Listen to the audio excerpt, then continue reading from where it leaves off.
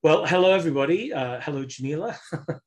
uh, hello, hello everybody, and uh, welcome to uh, to this, the second half of the annual general meeting. Uh, I, as you probably have guessed, am George Harris, curator and artistic director at the gallery, uh, and it is my pleasure to introduce to you this evening's speaker, Jamilah Malika Abu-Bakare. Jamilah is one of seven artists whose work is included in our current exhibition, The Politics of Sound, which in fact is an exhibition curated by Lethbridge-based curator Tyler Stewart.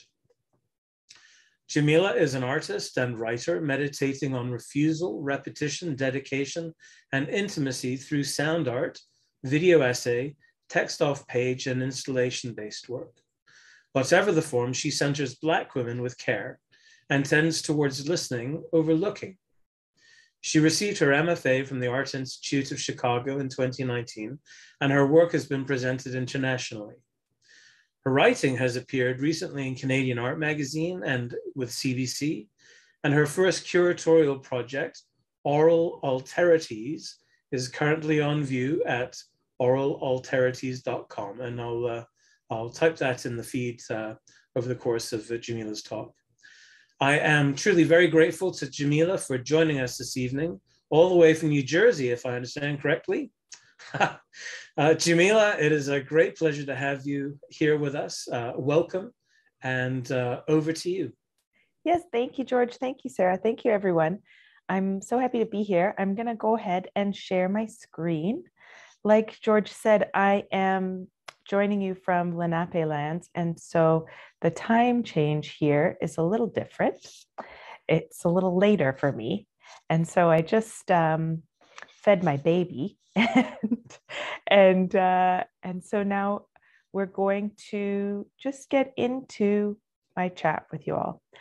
And I, I've entitled this presentation, this talk, by the name of my work. And I'll, I'll tell you a little about why in a moment. So just want to say thank you again to everyone involved. I'm sure there's lots of folks behind the scenes at Two Rivers who do very good work. Thank you for all your efforts.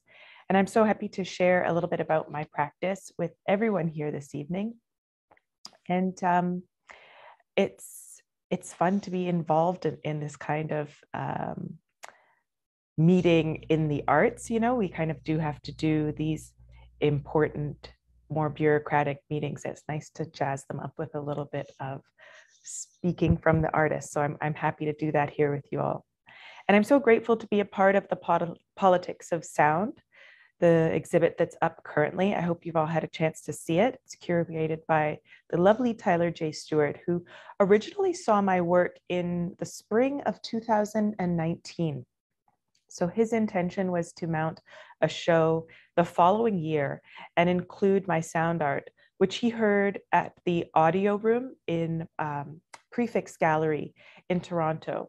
Can someone just confirm that y'all hear me okay in the chat, perhaps? Everyone's hearing me all right? Yes, I can hear you. Yeah. Oh, good. Okay, great. Um, and if I can get the same confirmation, we will listen to another piece of sound work. And I just want to make sure everyone hears that as well. Great. Okay. So Tyler heard my work in, in a special kind of dedicated enclosed space. And uh, it was, it's, it's very rare across Canada, this kind of dedicated enclosed space specifically for sound art. I'm so glad we had it. And um, the show was with myself and another uh, Nigerian artist. I'm Nigerian and Trinidadian, and I was in the show with the Nigerian fellow named Abraham Oghobase. He's a, an amazing photographer, beautiful. Uh, I'll I'll write his name in the chat at the end. And uh, Liz Ikiriko, whose name you might be familiar with. She's a Canadian um, Nigerian artist and curator. And this show was called The Break, The Wake, The Breath, and The Hold. And I shared um, a poem printed on textile. I shared um, a video work, a silent video work entitled How High, AKA Black People Watching White People Watching Black People. And I also shared this soundscape called Listen to Black Women. Uh, and so it was the first version of this newer work. And so when Tyler reached out to me last fall, he said, you know, the show is finally back in play and would I like to be included? And I let him know, of course, I would I would love to be. But I also let him know that I had made a second installment of this work uh, that I had called "Listen to Black Women Again," and um, I said, you know, what, what, why don't you give it a listen? It's basically a new version on the same theme, uh, and I had made the initial work, Listen to Black Women, by asking my friends and family to talk to me about talking as Black women. And they had sent me little audio files, and I put those together in what I called a composition. And then over the years, I, I found that I was hearing or had heard Black women with much greater reach, much greater visibility uh, much greater wealth, much larger platforms, speaking on the same topic in different ways and having similar refrains, similar challenges. And so I thought, you know, it's curious to me that through class, across this kind of gap of like fame um, and and really just being family and friends to me, all these Black women share these same feelings. Um, and so I made a second work featuring the voices of Amara La Negra, Angela Davis, Rihanna, Jully Black, Azealia Banks, and Keke Palmer. And that's what's up currently at Two Rivers. I'm so glad to be there. So this talk I'm going to use as, uh, as a way to kind of break down this work by working through the titles. So first I'm going to talk about listen.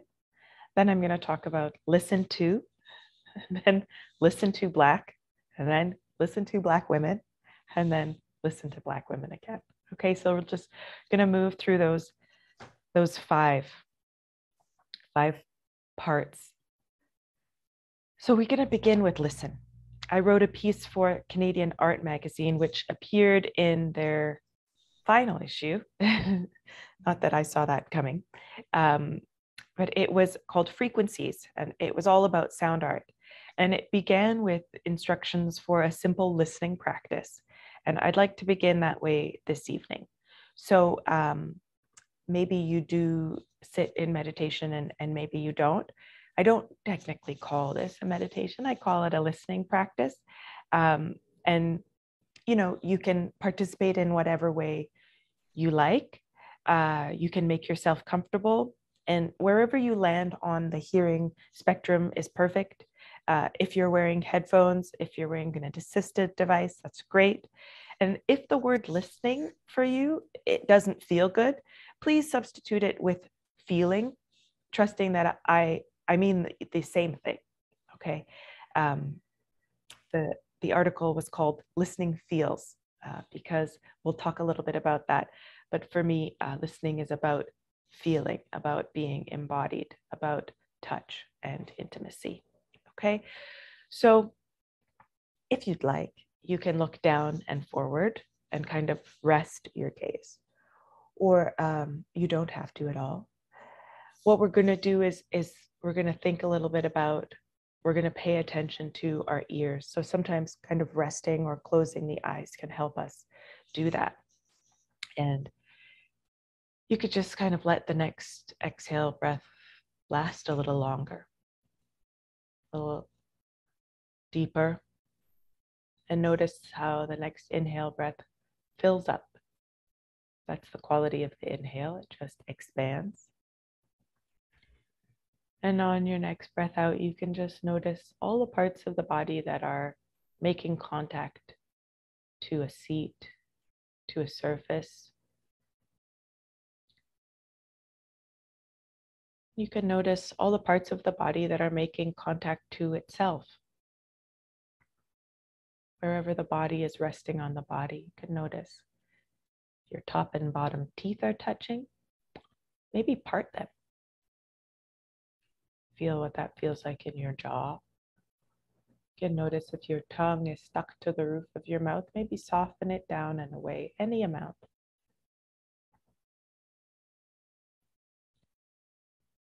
You can take a bigger breath in, expand. And you can take a breath out. Soften, settle, let go. That's the quality of the exhale breath that just lets go. There's nothing you have to do or force to feel the breath come in and to feel the breath go out.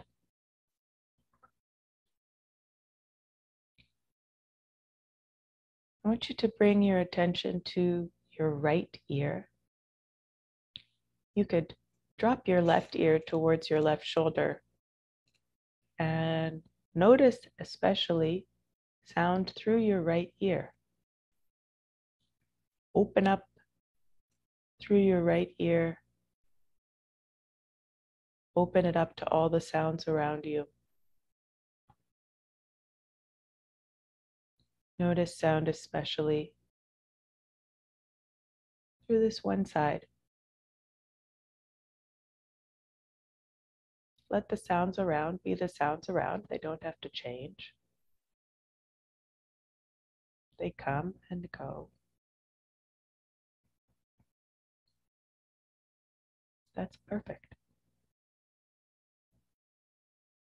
Maybe you have a judgment about the sounds. Maybe you like or don't like them. See if you can just notice how they change. If you are there in a quiet space, you can observe silence.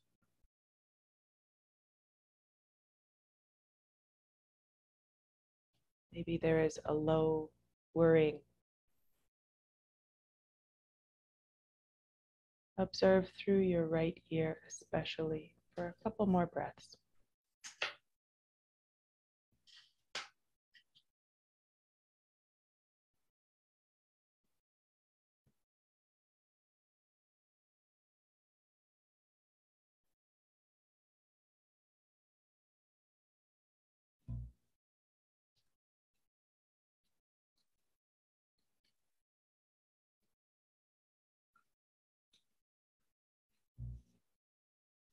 And if you dropped your left ear to your left shoulder, you can lift your head up. And we'll try the other side. You can bring your right ear to your right shoulder. Not mandatory in any way, just a way to notice your left ear, especially to open up your left ear to all the sounds around. New sounds now. And maybe the quality is different on this side asymmetry is really natural in the body. Maybe listening feels different on this side. That's okay.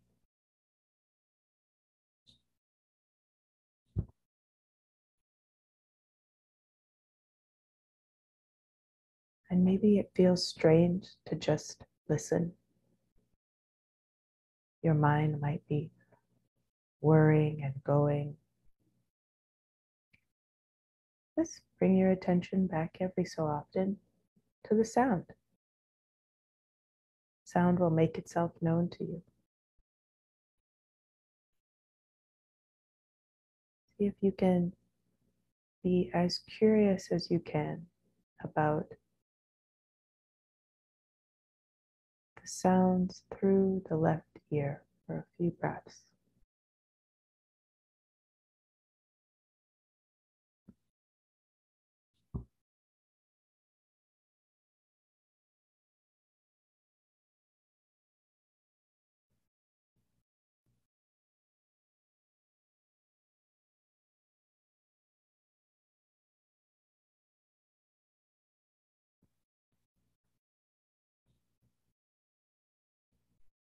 You can let that go.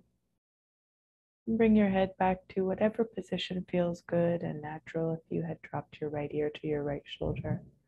I want you to see if you can notice now sound through both ears. And maybe you are inside a room. I want you to stretch your ears outside of that room and notice the sounds a little further away. Maybe there are sounds above or below you.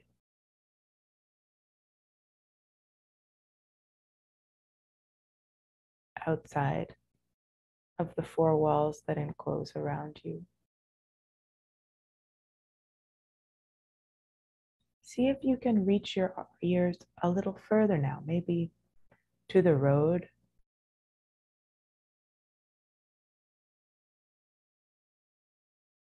See if you can reach your ears as far as you can. Listen now for the farthest sound.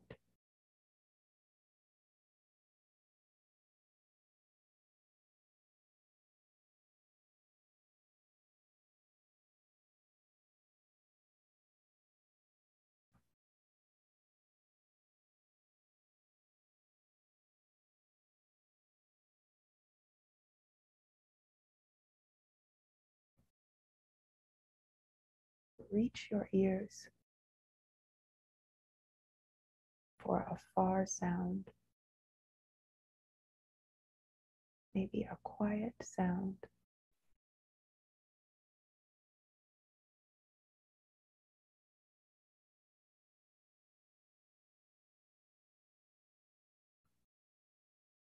And then you can let that go.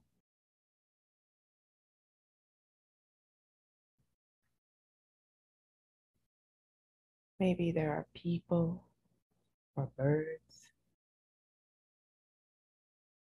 in the spaces further from you. We're going to bring our attention back inside the room, back towards ourselves. Bring your ears as close as you can and listen for the quiet sound of yourself. Listen to your own body breathing. Maybe you can take a sniffle of an inhale or a little louder of an exhale to hear. Listen for the sound of your own breath. Listen for the closest sound last few breaths.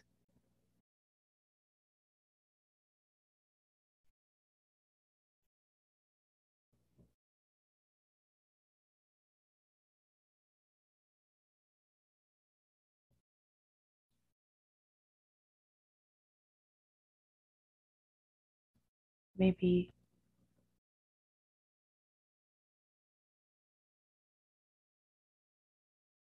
the closest sound of your own body breathing is not a sound you have really listened for before. That's okay.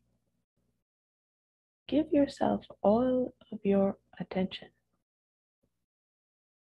Listen to your body breathing the closest nearest sound. Last couple breaths.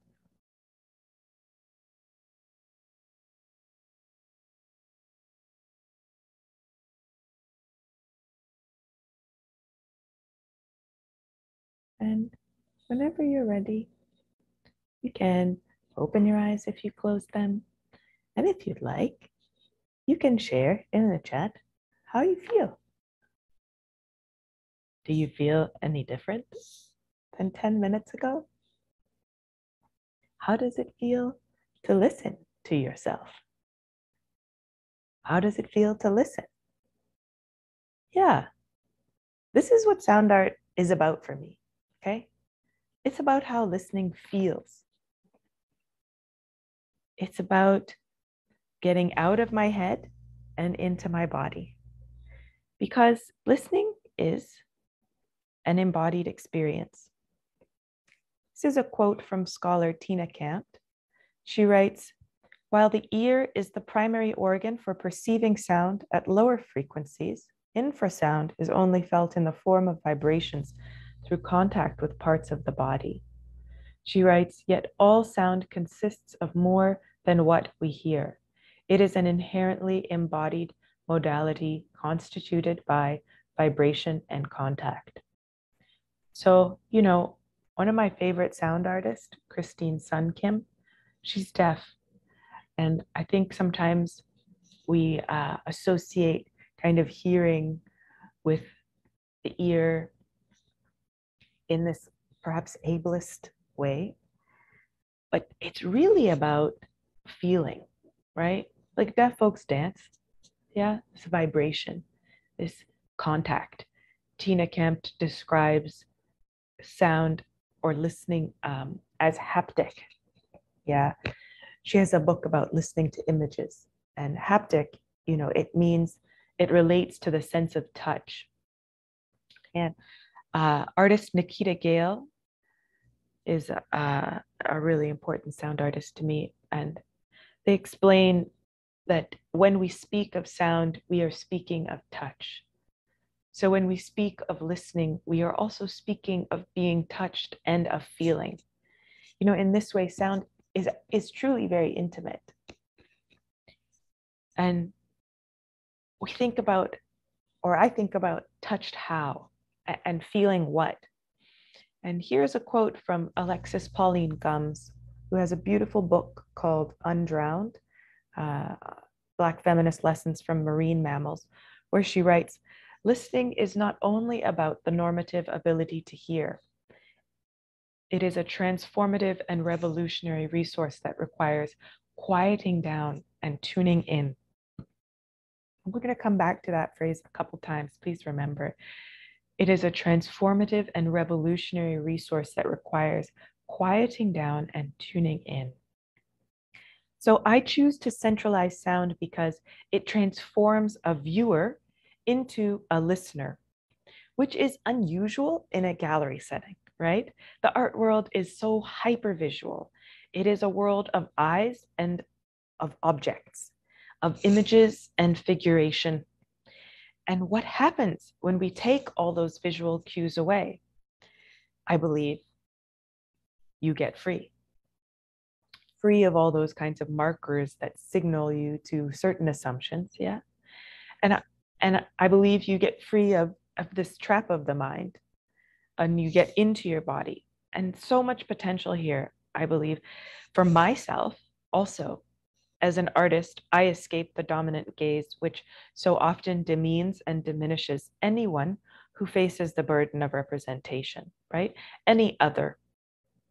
And the audience, they're free and I'm free, and we can all let go of what we think we know and become curious about what we feel and can practice to be better listeners, right? To reflect on that embodied experience. If the sound is hard for you to hear, if the sound is soothing, that whole range, that's really good practice because in the future, you can be a better listener. I think sometimes uh, in sound studies, people abstract listening uh, into different purposes. There's some traction around the idea of listening for knowledge production, but I, I'd really like to um, suggest to everyone that listening is for listening's sake alone. And listening and being a better listener, we're going to talk about a little later why that's so important for specifically Black women like myself. So listen to, to listen to as opposed to look at is unusual in a gallery setting. And I think the word audience is so associated with this kind of culture.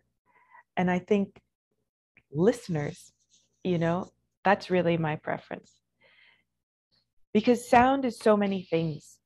Sound is citation, the same way an excerpt or a quote here operates, a sound operates. The kids on TikTok are all saying, um, Can we make this a sound?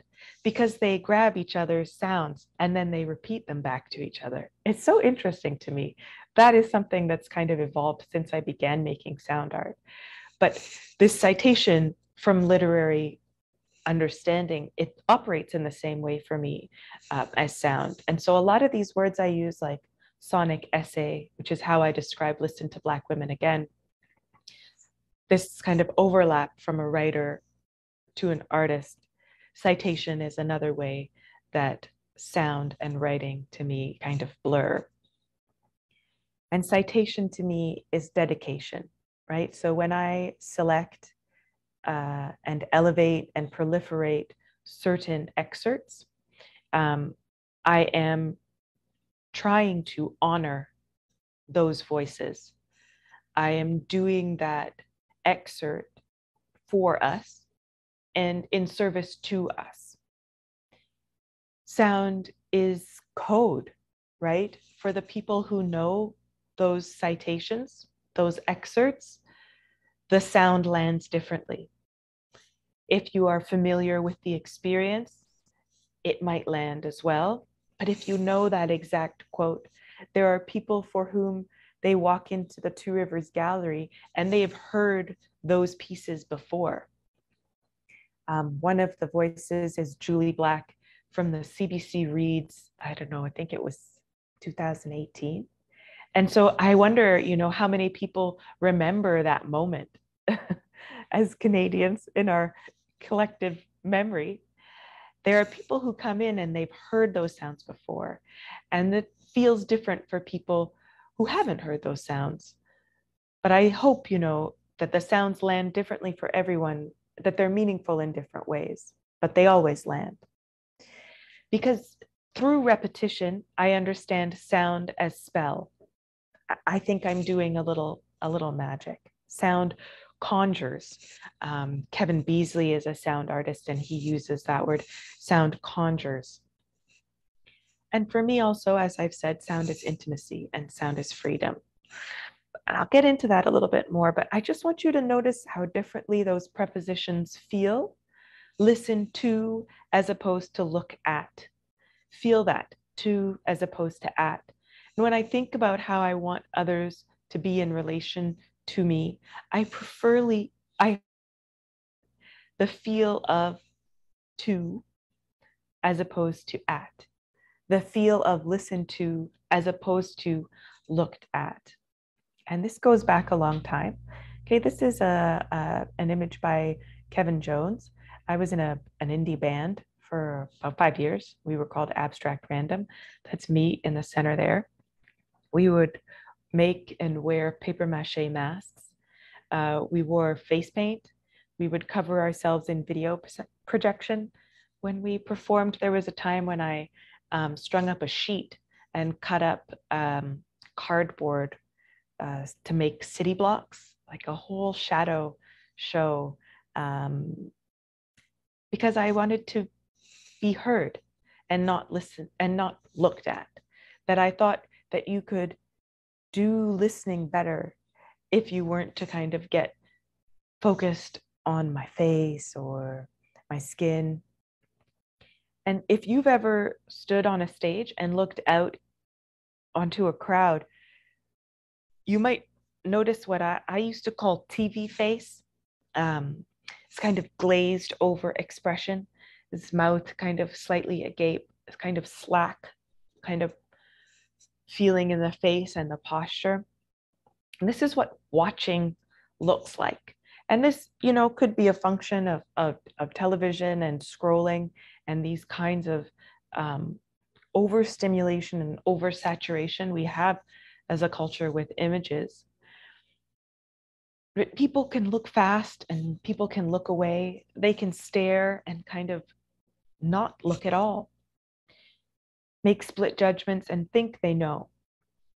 But sound, sound is not stable. Sound asks for your ongoing attention, and you cannot close your ears the way you can close your eyes. Even if sound is muffled, it reaches you. Whether it's a meditative sound or an abrasive sound, you feel it in your jaw, in your shoulders. You have a physical response. Listening is felt in two parts. You feel the vibration, and then you feel the emotions that arise as a result. And as a Black artist, when I transform the viewer into a listener, they become involved, embroiled even in the experience in a way that puts them to work, that makes them do some labor, which is not so often the case in the art world. the art world is a place where I have to be seen and I have to sell. The art world is a market. It monetizes, fetishizes, objectifies, and eroticizes. For a Black woman, this is all especially fraught for reasons I will not enumerate here. Um, these are headlines about the ways that Black artists are feeling the art world now. There's actually a show um, that's that's going on right now about Black artist burnout, but this is something that that we talk about a lot. Um, it, it's a challenging place.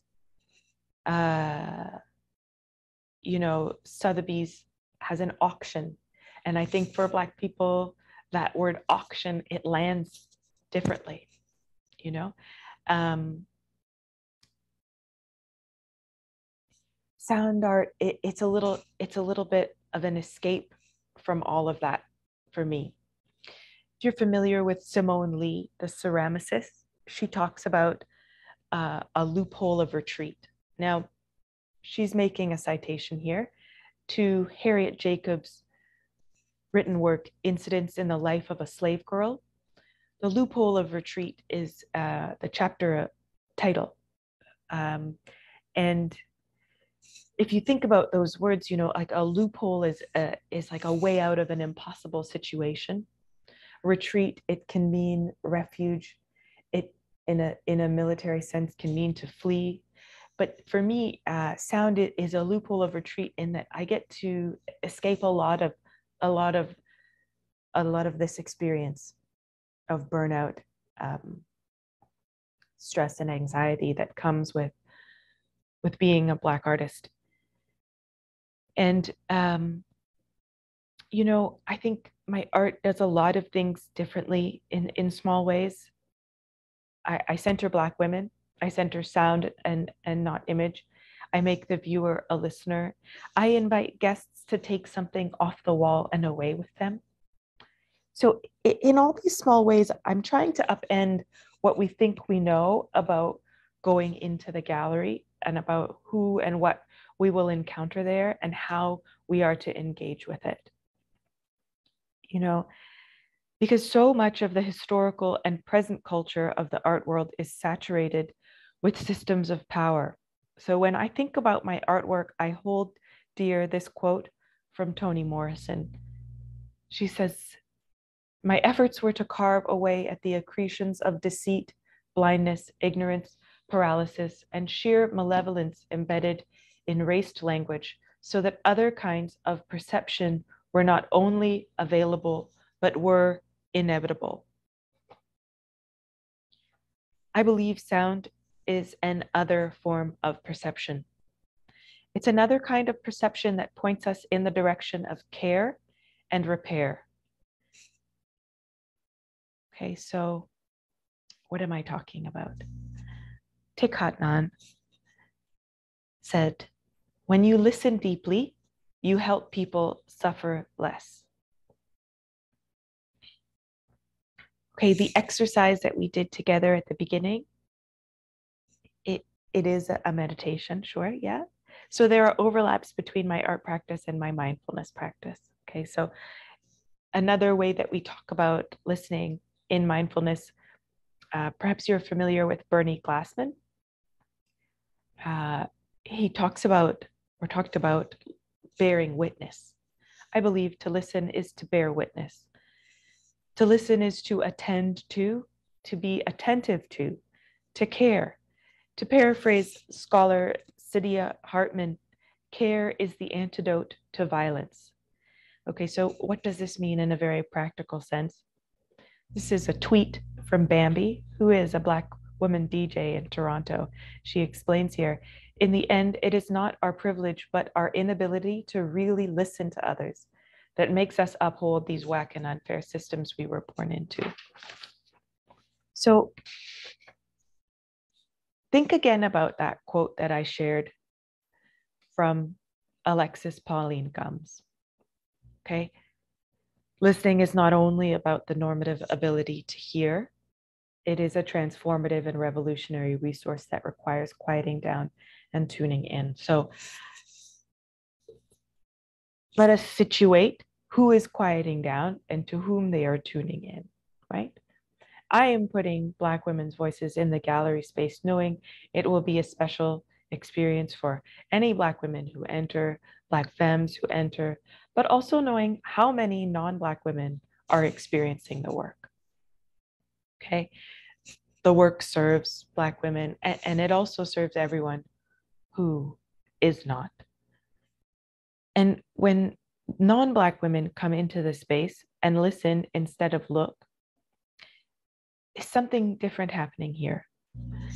Uh, Alexander Weheliye, he writes, when we analyze the role of vision as it relates to the mechanisms of racism, sound emergence as a space where Black subjectivity is not fixed by the look of white subjects, but it is instead articulated dynamically by Black subjects. There is like a loosening of the systems of power in operation for every other when we go from looking to listening. And specifically for, for Black people, Dionne Brand puts this really clearly when she writes um, The image which emerges from the door of no return is public property, belonging to a public exclusive of the Black bodies which signify it one is aware of this ownership. Okay, so she's talking about about black people when she talks about the image which emerges from the door of no return. Um, in the art world, you know, this reality is pronounced. You know, if you think back to Picasso's appropriation, to, you know, as recently as the controversy around Dana Schutz's um, use of, of, of Emmett Till's image. Uh, the use of, of the Black image as appropriation, uh, it, it happens in the art world all too often.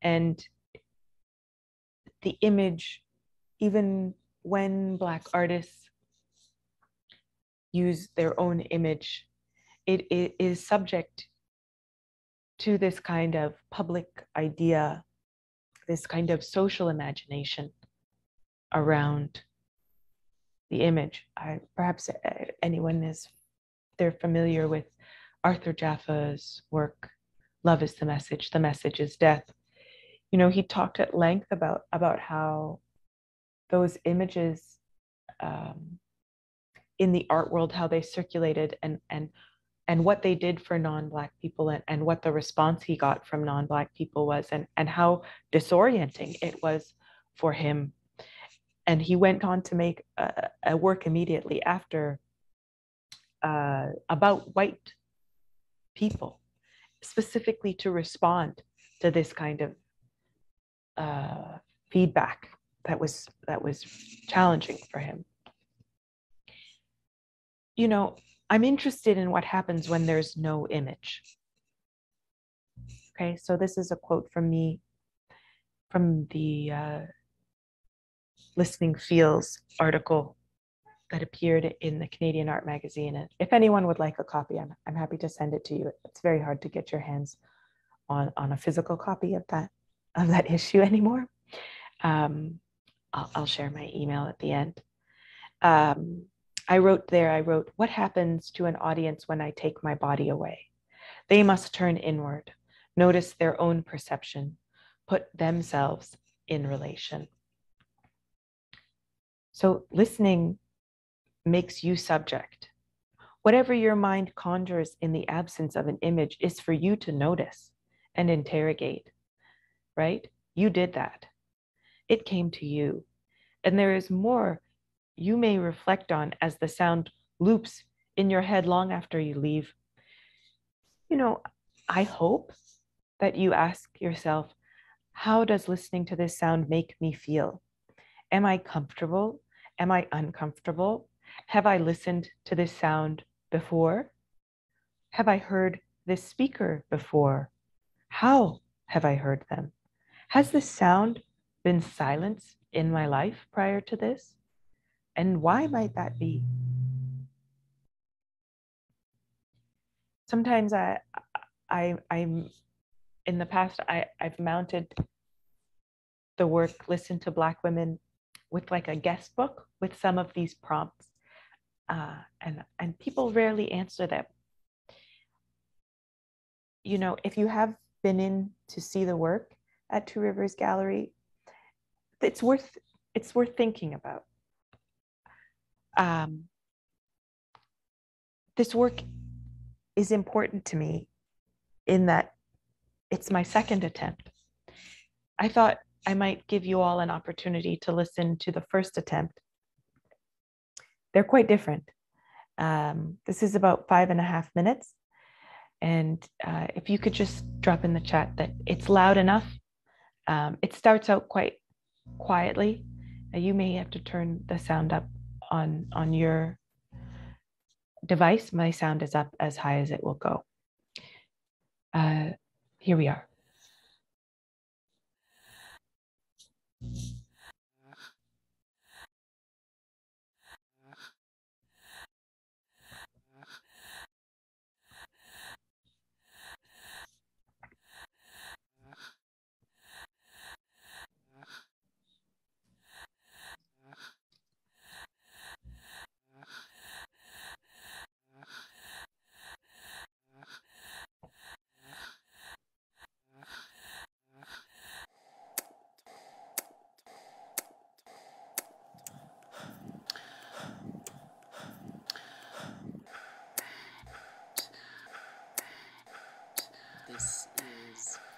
As a black woman. which is black blackness calling myself constantly being called out my for people, Uh, my I- people. Um, I even I- um, and and thinking subjugated I think myself. about- I think- I I think- tried to hide and um, as a black My woman. When I think people, about- um, I tried to hide and bury Um, that. I, um, um, my people. Uh, my white voice when I said hi, skin thank from you. like Like that, and the I door, the often the door took open, I calls did the in whole, a "Oh, false you, okay." version Yeah, white thing. of like, myself. talking in a way that makes white people comfortable has become. I worked for 24 years in a telecommunications company without using my now, it's like super Trinidad dialect. super uh, comfortable, ga- super ga- comfortable, ga- super that comfortable. Dialect. yeah, um, I've been moving um, um, yeah. Um, I've been moving Loving my um, spirit in a as a way black that I woman, could feel it. I've been my moving spirit, I could feel it. Trusting. My spirit, I could feel it. Uh, so powerful Yeah. power Like um, said, and or brown girl that was authority in black. in in relation to others, black. like I said, um, brown girl um, black. um, finding space uh, for yourself, less, spaces, uh, think finding actually, space for yourself. uh, really- less small um, with and in my body in totality and um, uh, um, and um, um, uh, yes. What do you feel you um, have to do um, in order to get You your needs met? which seems like a lot, but all of those things are happening. a a lot. I don't know. and and uh, How I'm actually always, always, always Yeah. Uh, in relation to in my body. Yeah.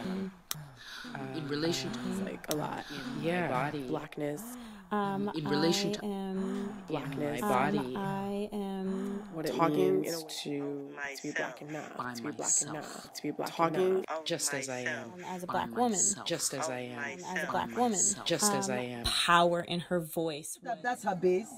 That, that's her base. That, that's her base. That, that's her base. That, that's her base. That, that's her base. That, that's her base. Be addressed and recognized and appreciated and respected. Addressed and recognized and appreciated and recognized and appreciated and recognized and appreciated and recognized and appreciated and recognized and appreciated and recognized and appreciated and respected. Ejo now. Make we park there now, Ejo. Oga, please now.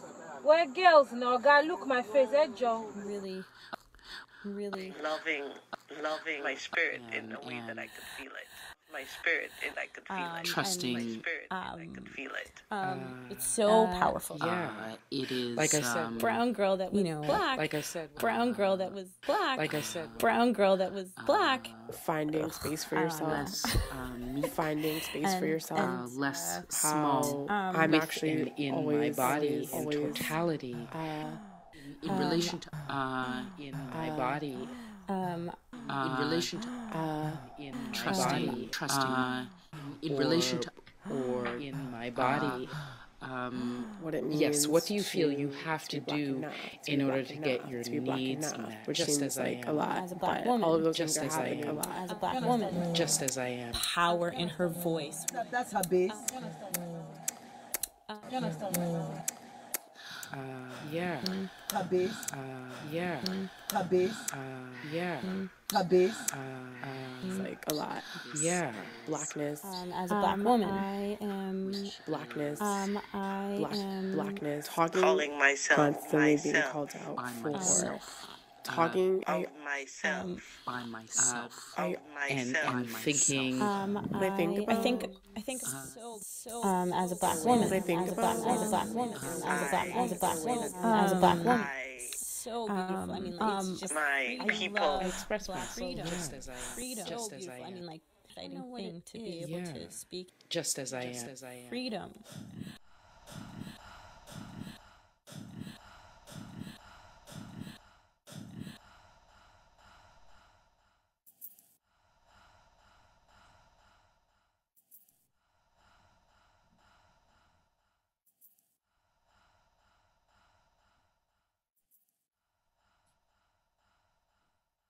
Okay, so that that is the first iteration of this work, and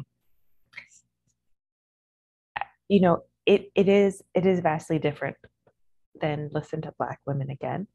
I'm going to tell you a little bit about the differences and and why. You know, I I call this first version a composition because it is more musical, whereas the second I I call an essay. Okay. Um, a sonic essay um, in the way that people describe like video essay, right? Rhea Dillon is a- an important British uh, black artist who I studied with, uh, took a video essay course with, and I think a lot about in my work about sonic essay. So even just in those two words, it's, it's quite vastly the different, right? The first version it, it has a lot more nonverbal musicality and a kind of uh, chorus overlapping. Whereas the second version it's quite more straightforward. There is less overlapping of the voices. Uh, this first version has a lot of panning that's like a, a sound word for meaning. The sound goes from the left to the right the second version has none of that. It, it is the same all the way through. I mean, those things all kind of give a different feeling. You know, Tyler, I sent him the second version, and it was his choice to include, you know, as a curator, to say, like, you know, I think I'd like to include this second version and not the first version, which is very different. I, I think, you know, the, the first version you might prefer yourself as a listener. You might be like, oh, and I think that's interesting. I, I think that might be something to think about. Like, what is it that I like about this version as opposed to the second version, which Tyler described very lovingly as a sonic slap to the face. you know, I, I mean, gosh, I uh, he shared that with me personally. I'm not sure if I should have repeated that, but you all heard it at this at this meeting. Trust that I, I took it in a very positive way because I was intending to do something a little different with this second version. Now, in the first version, I had asked for people to send me clips. This second version, I sourced them all online. So that found sound, uh, speeches, interviews. Um, and I collect sounds, I keep archives of sounds, you know, with file names that only make sense to me. And so over time, I had I had amassed some of these sounds and when I sit and, and I work together a piece, there is a quality of feeling surrounded by, right? Um, while there isn't the same overlapping in the second piece, because I wanted each voice to stand alone, I did see, feel that same feeling of um, comforted. So that's me, right? You know, I made the first work at away at art school where I felt very alone and very isolated, and I was having a very challenging time. I made the second version um, like postpartum. and both works felt like solace for me. Both works make me feel good and make me feel better because I, I trust in my own experience of the world more. I don't feel as gaslit in the world when people say things like trust Black women, listen to Black women, defend Black women. You know, they don't mean these things metaphorically, right? It's because we have a different experience. Okay. Um, this is a a New York Times article that came out recently. And I, I point to it because I keep making this work because it's important that people listen to Black women. Um, being listened to has has very real effects in our lives how we are heard um, if you're familiar with the death of esmin green this is a, a black woman who died in, in a waiting room in a hospital waiting room she had been ignored this is an experience of, of a black woman in the same kind of medical situation in the healthcare. Uh, and, you know, we like to believe that Canada is quite different from America, but uh, as a Black woman, I can tell you I've had this experience of uh, medical racism in Canada, in Toronto, in Vancouver. And I want to point out here that I talked about listening as feeling. Okay. Being listened to is also a feeling. You know, if you think back to the moment where I asked you to listen to the sound of your own breath, right? I'm sure there are people in your life who make you feel listened to. That that's a that's a really distinct and life-giving, nourishing feeling being listened to is being affirmed, being um, held. You know, people talk about to hold space in a way that is like, I'm not sure what, uh, you know, kind of, what's the word I'm looking for? You know, like it's a, a slogan or something. But to hold space, to listen is to hold space.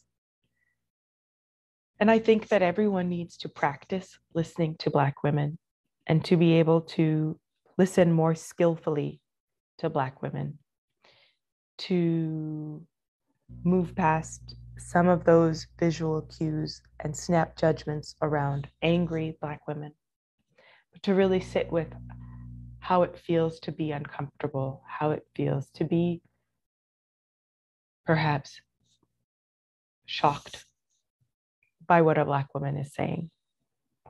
Okay. I call this second version Listen to Black Women Again. I will call a third version, perhaps Listen to Black Women Still. okay. For everyone who hears these, I believe the experience puts into relief all your previous exchanges with Black women. to think did I listen? Did I hear what I wanted to hear? What did I hear? Because my hope is that with the opportunity to practice, your listening shifts all your future interactions with Black women. The Black woman in your office, the young Black femme on the bus, the Black girl in your classroom. I hope these exchanges can shift towards her freedom. Because if Black women were free, it would mean that everyone else would have to be free, since our freedom would necessitate the destruction of all the systems of oppression. This is from the Combahee River Collective statement. These are the stakes. In my own small way, I am working towards our collective freedom. Thank you. I'm happy to take questions. I'll take a moment to drop into the chat everything I promised to. Thank you so much for your listening. Thank you very much, Jamilah, uh, for uh, a really wonderful and moving talk. Um, we, we do have some time for some questions, and I, I would like to ask uh, all of you participating in this talk, this meeting this evening, if you could uh, drop any questions you might have either into the Facebook or Zoom chat. If you can please type them in, uh, then we can relay them to, uh, to Jamilah.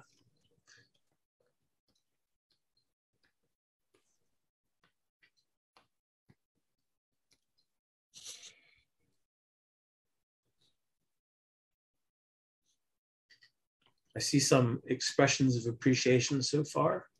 Yes, thank you, everyone. I think I think I'm. Uh, these are the names that I promised. Uh, Christine Sun Kim, Abraham Oghobase, Liz Ikiriko, and I saw was it Sarah who chimed in that Liz is so great. Liz is so great. If you're not familiar with uh, Liz's work, please please do look it up. Thank you. I really appreciate everyone's gratitude and appreciation. And if you would like a PDF of my article from Canadian Art Magazine, I'm, I'm happy to email you a PDF. you can email me. um, it's hard to find. Well, thank you, Jamilah. and we may have it here, but uh, oh, if, good, good. If uh, just just in case, if you might uh, send it to Yeah. us, Oh, we sure, yeah. Uh, forward that to Oh, yeah. any other people who uh, who make an inquiry of it. Okay, good. Yeah, I can do that.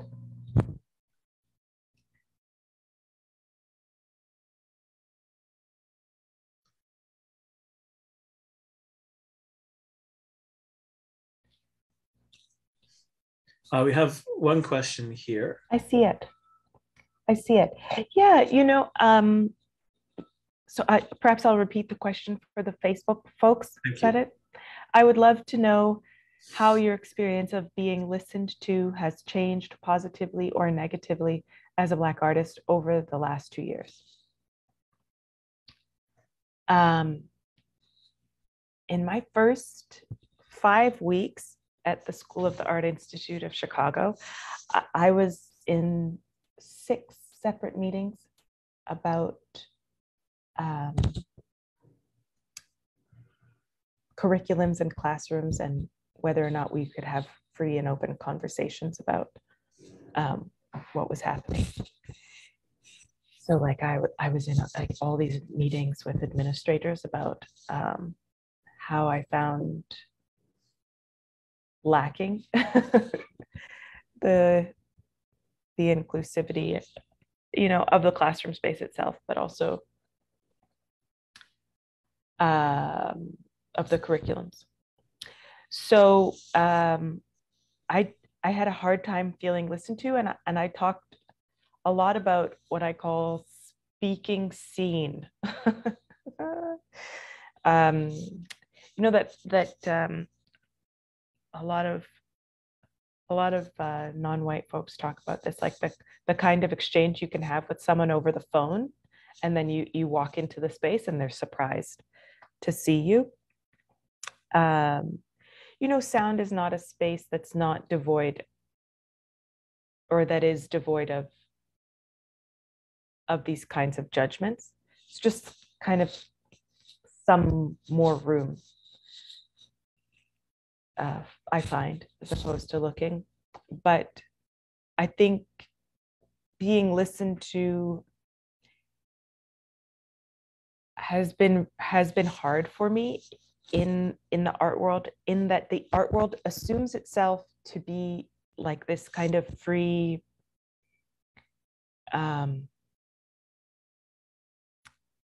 like free cool space. I don't know. I i want to like use the word bohemian or something but i don't think that's quite the right word. But it, i think the art world fancies itself um you know different than like the literary world or um, media or i you know i think folks feel like there is more space. But black artists we we really do kind of bounce up against a lot of the same draining uh, assumptions and expectations um, I feel like the spaces where I feel listened to in the art world have been with the curators that I've been really lucky to work with. And so working with Tyler J. Stewart, or working with Liz Ikiria, Ikiriko, or working with uh, Sophia Saeed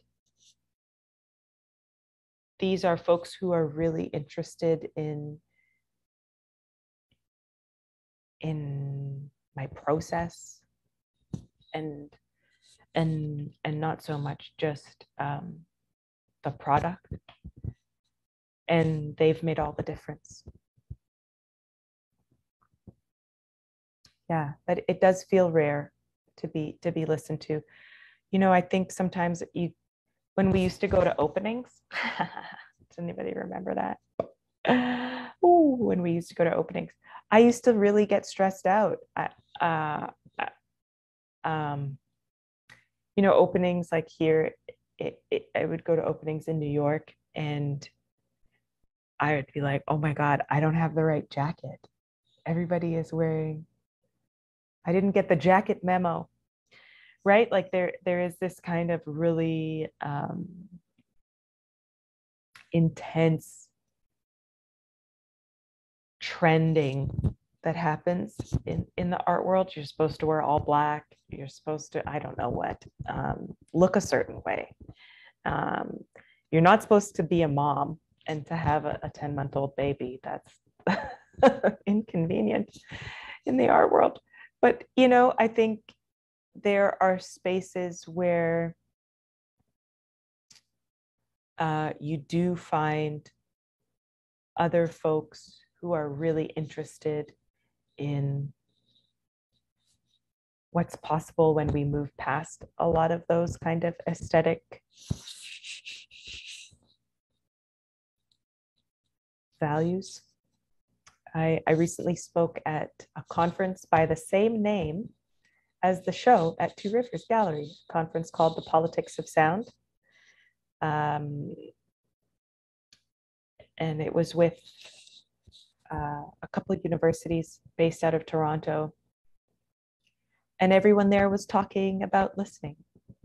And so that that was there are kind of these pockets where where people are interested in in listening to each other closely. And and that has really has made all the difference. Thanks for asking that kate. I'm going to think a little bit more deeply about about that.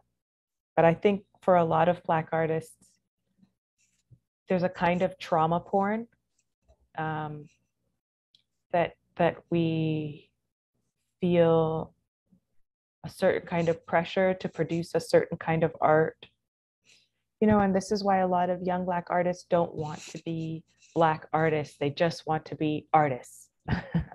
I've never felt that way. I've always wanted to just be myself as a Black artist, you know? Um, thank you, Kate. I, I hope so too. Because the trauma porn is, is it's a trap. And, and if you are an artist of any kind of othered identity, whether that is queer or disabled or POC or mentally ill, and people want you to tell a certain kind of story that is very easy for them to circulate around your identity. Let me tell you, you don't have to do that. you know, you can make whatever makes you feel good.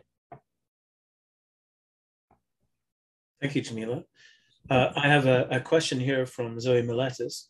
Cool. Uh, she asks, which cities have soundscapes that most interest you? And or which soundscapes in nature get you listening most attentively? Okay. Um, birds. birds. Any birds, anywhere. I love listening to birds. Um, Michèle Pearson Clarke uh, shared with me a work. I'm going to just pull it up because Michèle recorded birds in Trinidad, where we are both from. Okay, I'm going to find it for you and drop it in the chat. But I love to listen to birds, and Michèle has done this in a sound work that I'm going to share. But um,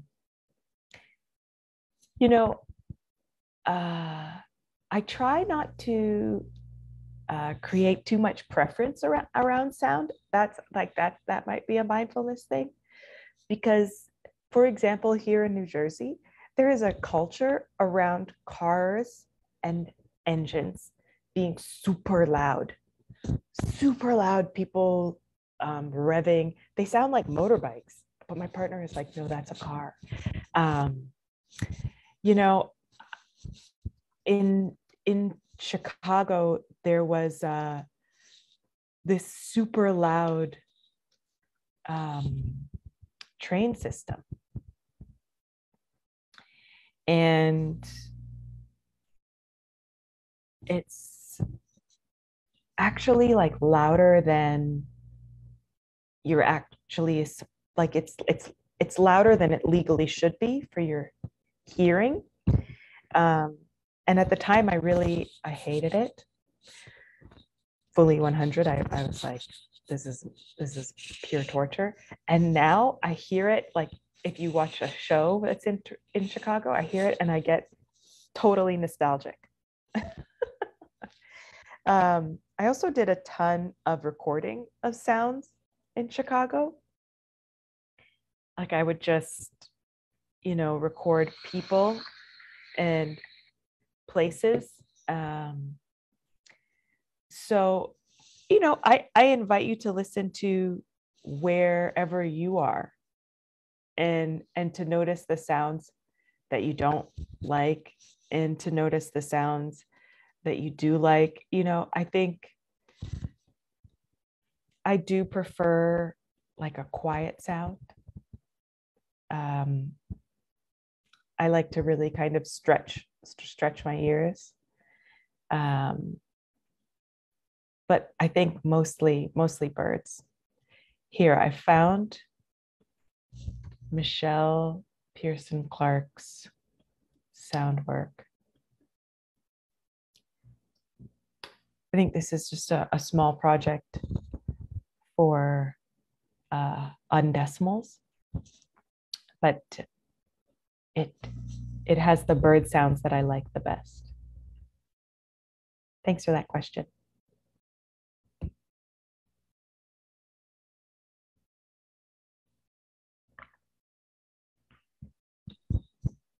So I was talking there with the uh, the microphone off. That happens all the time.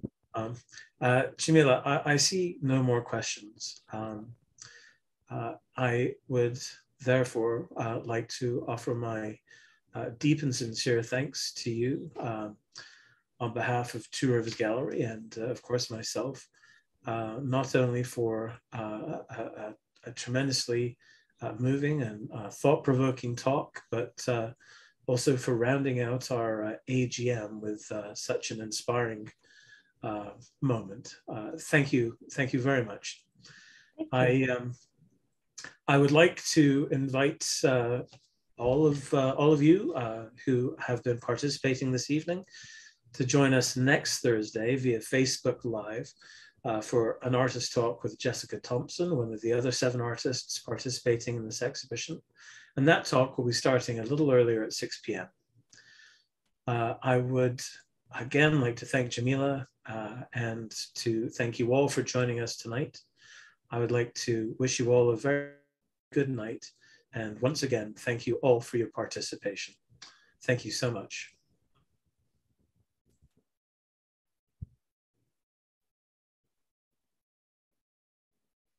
Thanks, everyone. Lovely to be here. Bye bye. Thank you, Jamilah. Good night.